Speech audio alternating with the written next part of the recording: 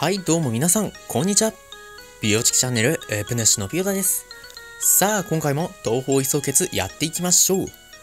えー、まあ、まず最初にですね、やってしまいました。録画ミスでございます。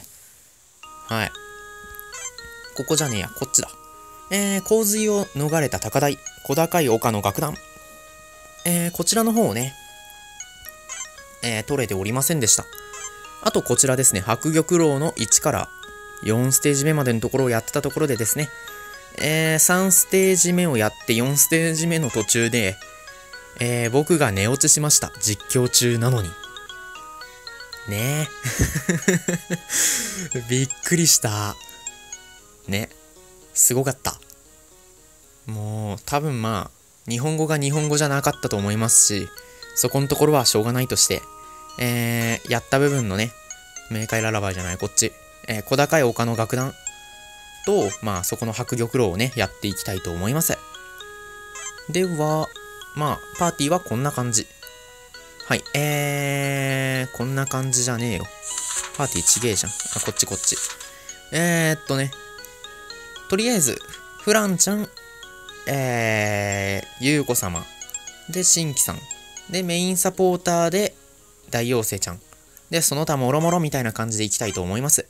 えー、現在もね、凄まじく眠たいので、えー、まあ、多少の読み間違いとかは許してちょうみたいな感じでやりたいと思います。まあ、あのね、眠たいなりに頑張ります。では、まず敵の能力。えー、ベンベンちゃん、TP1 技、威力200、単体攻撃防御20%減少。えー、全体の攻撃と防御20%ダウンの、えー、エンハンス40%。八橋さん TP1 技威力200単体攻撃 HP が少ないほどの攻撃力と、えー全体の攻撃を20%上昇のエンハンス40%、えーホーリードラゴン、えーご存知、土畜生でございます。えー TP2 技威力200炸裂攻撃能力上昇20%緩和、えー全体の防御20%上昇の、えー弱体防御80%、えーライフさん TP2 技威力280の重列攻撃、えー能力上昇30%緩和の、えー全体の攻撃を20%上昇と、OK です。はい、えー、まあ、とりあえずね、えー、起きてるうちにやってしまおうという僕の計画でございます。ね、すごいよね。目がしょぼしょぼしてんのにね、その状態であの読み方をしますからね。もういろいろおかしいわ。もう、ね。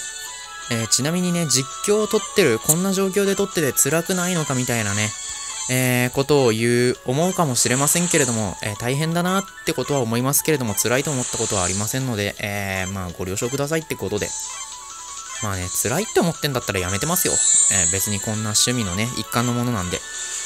はい、えー、まあそういうことなんでね、え楽しくやっていきましょう。はい、えー、とりあえずね、いつも通りの、まあそんな適当な雑談をしてるうちに、能力を上昇をかけていきの、えー、インソフォールは一家フィンブルベトルで、とりあえず防御をね、防御じゃない、速度を30%下げの、ね、ゆうこ様でもね、速度を下げの、アンド CT を下げの。オッケーオッケー。で、えー、大妖精ちゃんはね、素で速さが速いプラスね、普通に、もうなんか行動するたんびに速さが上がっていくので、まあ、そこのところを踏まえてね、もう、かなくったっていいや状態の精神でね、とりあえず、ホーリードラゴンの80%を貫通する数、デバフを巻きます。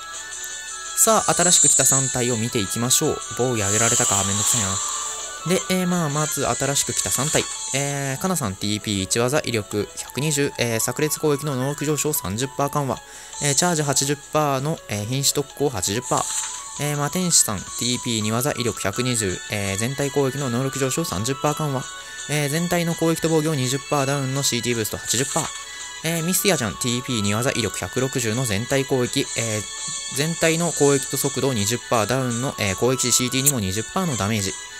じゃあまあ、アインソフォールでね、削りつつの、えー TP を削りましょう。もう、ホーリードラゴンね。動き早いんだよね、普通にこいつ。だからもう、速度デバフをね、そのやつをくぐってやれるかっていうね。てか、あれじゃん。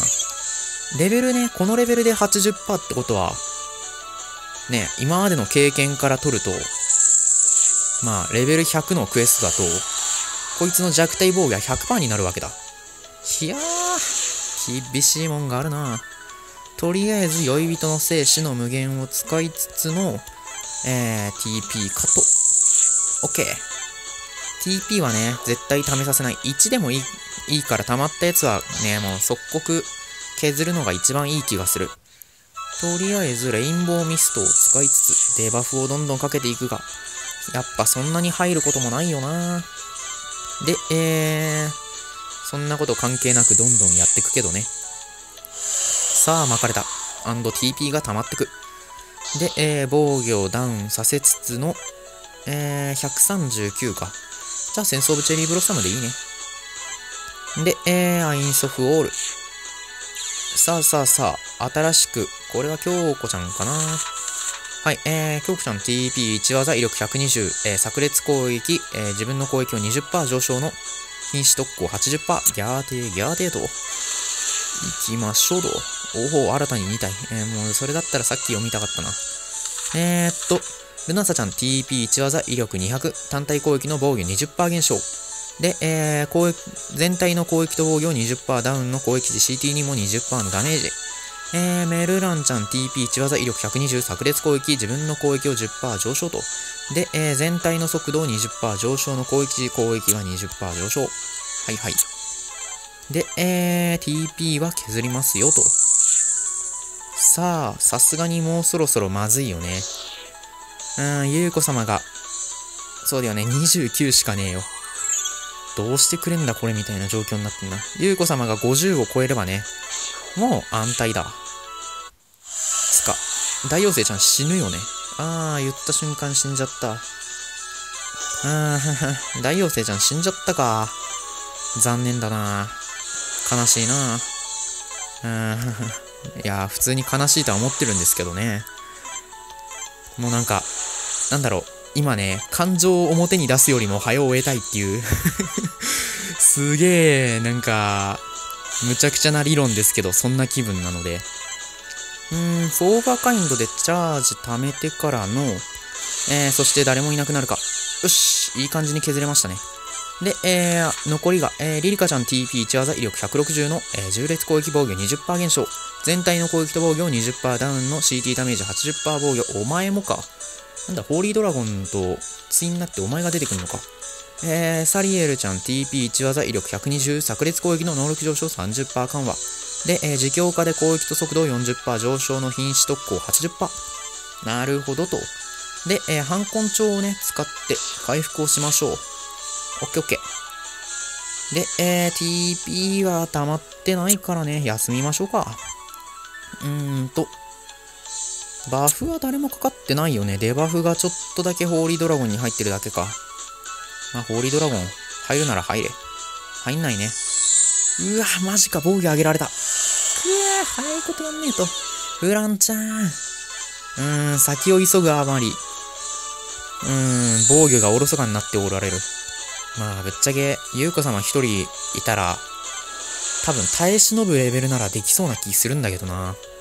ま、CT カットの全体のね、デバフをかけのどうしよっか。まあ、酔いともせい死の無限は、これは確定で、センスオブチェリーブロッサム。ダメか。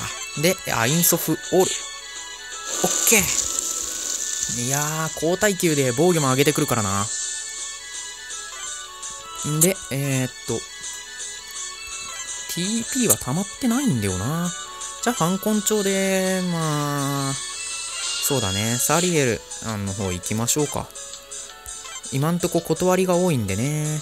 で、えー、新規ちゃん、5上げの、えー、新規さん防御。で、全体の攻撃上昇と。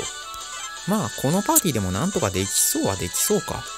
えー、障壁をハリーの、あ、今の状態で交代すればよかったんだ。で、全体攻撃。オッケーオッケー。で、酔い人の生死の無限。で、えー、センスオーチェリーブロッサム。いいダメージですね。えー、テンプスフギと、こういう時にね、スクナちゃんいるとすごい楽な気がするんですけどね。で、えー、フェンブーベトル。うーん。惜しい。